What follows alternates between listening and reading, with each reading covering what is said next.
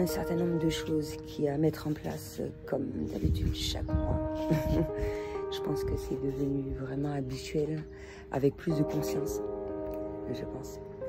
Peut-être qu'il y a un certain nombre de personnes qui le faisaient de manière inconsciente.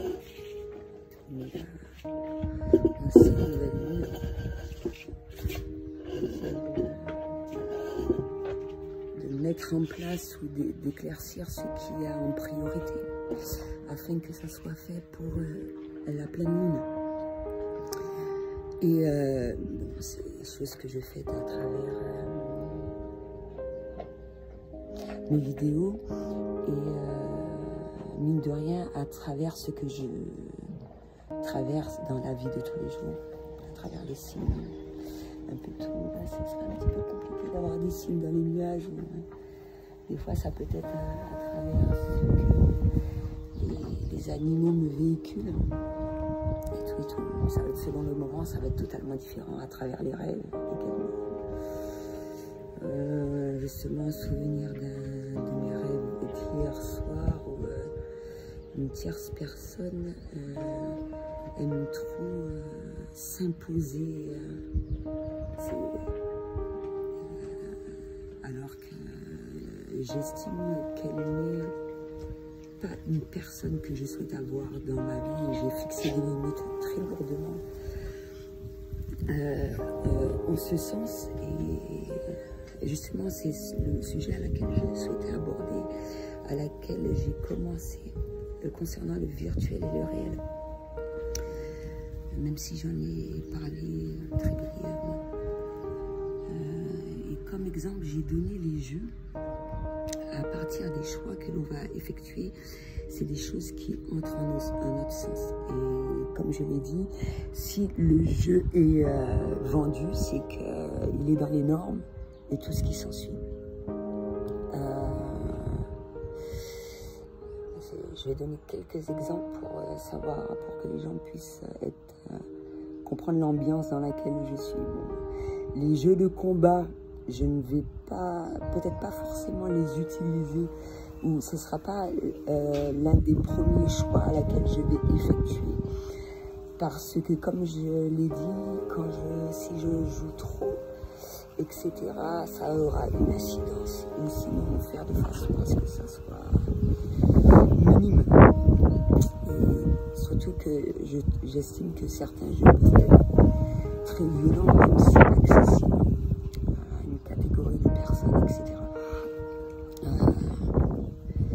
moi, je vais plus euh, opter sur, pour des jeux de plateforme, euh, comme Sims, une évolution. Les premiers Sims, ça a été des villes qui se construisent, c'est-à-dire à travers toute la démarche, il y a un but bien particulier dans la création de cette ville, agrandissement et selon les difficultés des choses à mettre en place pour que ça se passe au mieux et faire face aux difficultés. C'est un truc euh, qui, correspond à ce que je suis. Et ça me... Pour euh, parler un petit peu de ce qui se passe en ce moment par rapport à ce qui se met en place, par rapport à l'évolution. Et euh, c'est pour cela que j'ai eu un signal, mine de rien, euh, à travers une randonnée, qu'il est ultra important pour moi de travailler sur les deux univers. Quand je dis deux univers, c'est-à-dire le mode méta et le mode naturel ou alien, d'accord? Mais je n'ai pas encore trouvé plus d'éléments pour euh, expliquer cela. J'essaie de faire au mieux. Et euh, s'il n'en qu'à moi, euh, je serais restée en mode naturel. Et je sais aller en mode méta assez facilement de par moi-même. Donc tout ce qui est virtuel, pour moi, on va dire, ça va être effectué pour un travail personnel. Pour moi, c'est utile pour cela. Ou être en connexion avec un certain nombre de personnes comme moi pour effectuer un certain nombre de choses. Et ne pas confondre avec les liens d'âme, parce que ce n'est vraiment pas la même ambiance. En tout cas, moi, c'est mon approche. Ce n'est vraiment pas la, même ambiance. Et euh, les choses à laquelle on va s'adonner au virtuel, c'est quelque chose qu'on souhaite faire dans le réel ou qu'on a l'habitude de faire, etc., etc. Donc les choses qui vont m'insupporter dans le physique, je ne vais pas l'accepter dans le virtuel.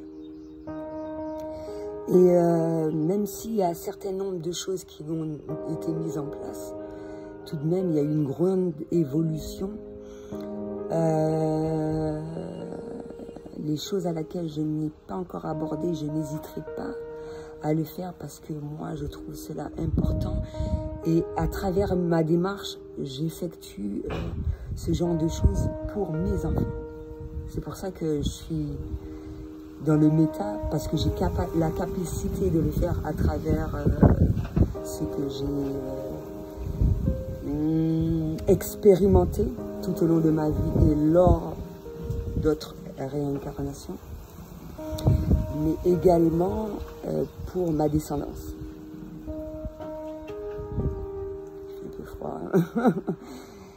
Donc c'est super important. Moi, j'estime euh, si ça me dégoûte euh, dans le physique, je vois pas l'utilité de le faire dans le virtuel.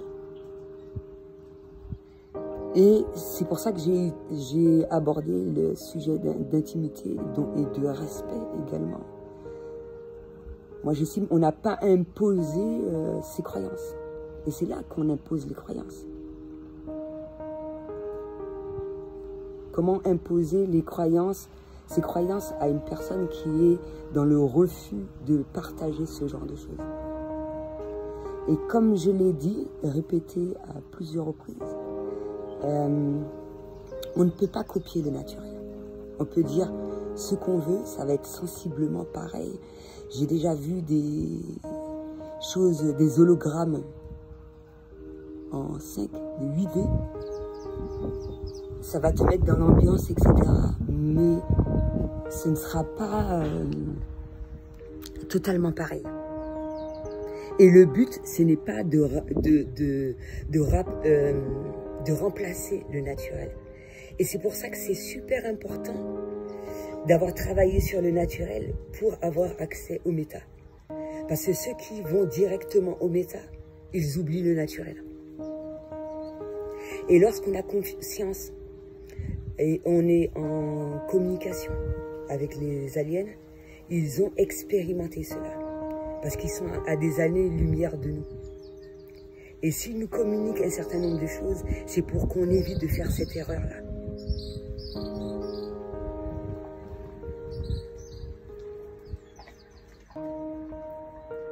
Justement. Et c'est de là l'utilité d'être en, communication avec euh, voilà, un certain nombre d'entités, etc., etc., pour éviter de commettre cette erreur. Et n'hésite pas de rentrer en, communication avec nous face à certaines difficultés, en tout cas euh, énormément avec euh, des personnes comme moi. Si ce ne sont pas des personnes décédées, il y a beaucoup de communications qui peuvent être faites par ce lien. Et c'est là que je rentre dans mes croyances. Il y a certains sujets que je ne vais pas aborder, même s'il y a des sujets de métaphysique que je vais essayer de, de faire comprendre avec d'autres mots où une traduction va être faite de manière totalement différente. Et ça peut être euh, très difficile. Ça peut être très difficile. Surtout quand on a, eu plusieurs réincarnations. Et c'est pour ça euh, que c'est important de suivre de multiples personnes, de ne pas être dans le rejet d'un certain nombre de choses, net, parce que mine de rien, à travers euh, la manière de s'exprimer, la manière, les croyances de tout un chacun, on va trouver ses propres mots dans euh, cette dimension-là et dans ce niveau de conscience-là. Plus froid, ma nounoune. Les gentils. difficile un peu, mais bon, je préfère être dans, même si c'est dans le froid, mais euh, il y a le plus de messages qui me sont véhiculés, il y a moins de négativité à travers mes mots. Euh, euh, ça m'a été utile d'être près de la mer. je me remémore un certain nombre de choses qui m'ont été utiles et tout et tout. Bon, faire des vidéos à côté d'une box ou à côté des ondes. Et justement, euh, ça m'a rappelé un petit peu et ce que ça fait les, ondes. Comment un hypersensible vit cela? Et que beaucoup de personnes ne vont pas être dans la compréhension de ça parce qu'ils ne ressentent pas les choses comme nous. Mais je ne vais pas attendre que, que les gens euh, soient dans cette compréhension de cela. Il y a certaines choses que je vais exprimer, que je dois exprimer parce que je le vis mal et je ne vais pas hésiter à le faire. Mais je pense que ça va être abordé euh, dans une autre vidéo en attendant un certain nombre d'éléments, etc. On ne doit pas cacher son hypersensibilité. C'est mal vécu, c'est mal vécu. Et lorsqu'on l'exprime aux personnes qu'on aime, c'est génial. Et qu'on trouve une alternative assez rapidement également aussi. Donc, euh, et justement à travers une, balade, c'est je, je, ressens la positivité justement quand il y a une température comme celle-là, où le, tout est purifié assez rapidement à travers la pluie, à travers l'humidité, à travers un petit peu de tout. Et euh, on voit le bénéfice à, travers cela, mais également lorsque tu vas en hauteur à travers une, euh, promenade, des fois je vais pas trop loin, il suffit d'aller près d'un cours d'eau, etc. Une bouffée, une bouffée d'air frais. Et ça t'aide à, vraiment euh, pardon, euh, évacuer toutes ces ondes-là. Et c'est là qu'on apprend justement euh, près de la nature quand une personne euh, est négative, fortement négative ou négative parce qu'elle a été exposée à ces ondes, elle est restée dans la civilisation, on va dire. Euh, elle reste très souvent, ou euh, si au sein de chez elle, euh, voilà, qu'elle est exposée à ses ondes plus ou moins, etc. Et je vois pas quel est le problème de, de s'exprimer en ce sens, hormis le fait que, comment dirais-je, la réaction autour de soi. Euh, comment les gens en masse vont, vont réagir face à cela. Mais si c'est dit positivement et que la majeure partie des personnes réagissent positivement euh, par rapport à cela, parce que chacun est libre, chacun est libre de choisir euh, ce qu'il souhaite dans sa vie, dans son quotidien. Et et comment, euh, quel impact euh, sera, selon l'impact que ça aura sur lui, ce sera une difficulté ou pas. C'est pour ça qu'il ne faut pas se braquer. Effectivement, ça a une incidence sur moi, ça a une incidence sur les hypersensibles. À ce moment-là, l'exprimer pour que, euh, de la même manière qu'il y a certaines choses qui ont été mises en place dans les écoles où ces enfants-là, où ces personnes-là sont dirigées vers un certain nombre d'endroits, de, lieux pour que ça soit vécu au mieux, et ben voilà. Mais il faut l'exprimer. C'est pas en se taisant que, que, les gens pourront mieux comprendre comment ces choses-là se font. Ouais, je vais l'exprimer dans une autre vidéo concernant les ondes un petit peu. Et comment c'est vécu.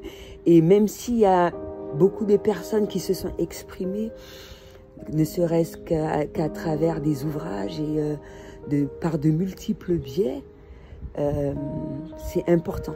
c'est important de dire les choses, de, de, de, le dire aux personnes qu'on aime.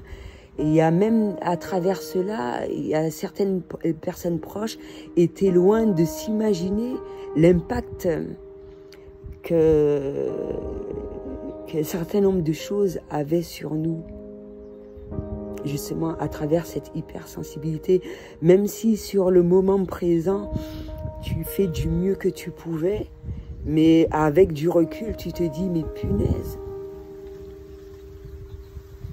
Et heureusement, moi, je me dis, euh, et je l'ai déjà exprimé à travers euh, mes vidéos, que certaines personnes, comme les pères de mes enfants, ont été réceptifs à certains messages et à, travers cela, des décisions ont été prises pour que ça soit vécu euh, au mieux pour moi, pour les personnes aimées de ma famille, pour mes enfants, pour la personne avec qui je partage euh, le moment présent, c'est super important.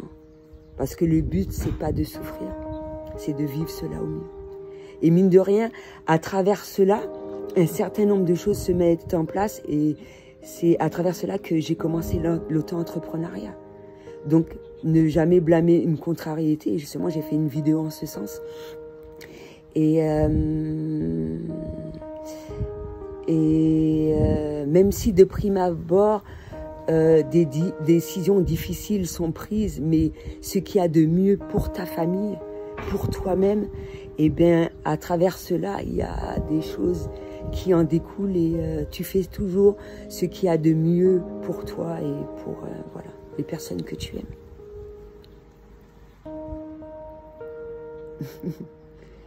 Donc c'est pour ça que c'est bien, euh, ça, rappelle le virtuel, contact virtuel, ok, mais surtout pour les personnes que tu aimes, les intimes. Quand j'ai dit les intimes, c'est bien les intimes, quoi. Euh, de garder un contact. C'est super important. Même si ça peut être plus ou moins compliqué tout, qu'on respecte le, choix de vie de tout un chacun, un peu tout, ça peut être plus, plus ou moins difficile, ou euh, un certain nombre de choses peuvent être mises en place par ordre de priorité, être dans la compréhension de cela. Je pense que je le suis au maximum, c'est bien ça. Et à travers cela, cette compréhension et tout ce qui s'ensuit, euh, ça se fait. Voilà. C'est super important. Donc voilà, virtuel, ok.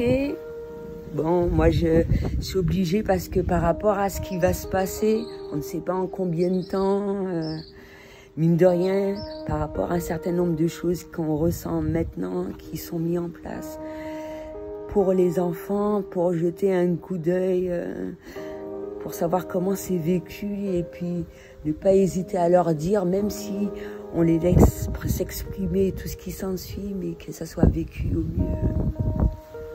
Voilà, les parents sont là jusqu'à un certain moment, jusqu'à qu'ils volent de leurs propres ailes, et ça a été véhiculé euh, hier, mine de rien, à travers les oiseaux, et euh, dans, à multiples moment. Hein. Parce que c'est ça le rôle de parent, c'est bien ça. Donc voilà.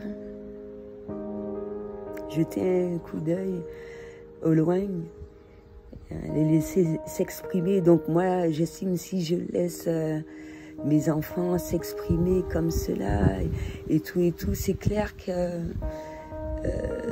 de voir qu'une personne étrangère se, se comporte autrement de la sorte alors que moi je laisse euh, au maximum les personnes que, que j'aime libres, euh, mon animal de compagnie libre. Donc euh, voilà, si on cherche à me brider, voilà, c'est... Moi j'estime que à travers toute démarche, même si ça peut être plus ou moins long, que le but est que je suis très réceptive hein, au message quand même.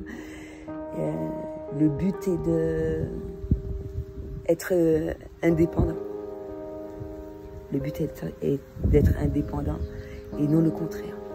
Parce que si, sauf les personnes euh, qui le souhaitent. Après, si c'est leur choix, ça c'est eux. voilà. C'était tout ce que j'avais à dire pour aujourd'hui. À bientôt.